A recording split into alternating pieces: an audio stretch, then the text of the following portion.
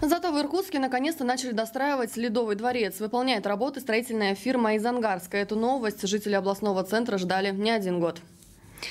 Последний раз завершить объект пытались в 2011-м к 350-летию Иркутска, но тогда подрядчик не выполнил своих обязательств. По данным на прошлый год, спортобъект был готов на 92%, а на доведение дворца до стопроцентной готовности было необходимо почти 500 миллионов рублей.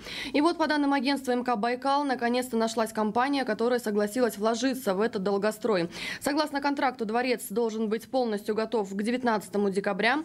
По соглашению с региональным Минимуществом предприятие, которое достроит Ледовый дворец, дворец за свои средства имеет право пользоваться объектом, но только для проведения спортивных мероприятий.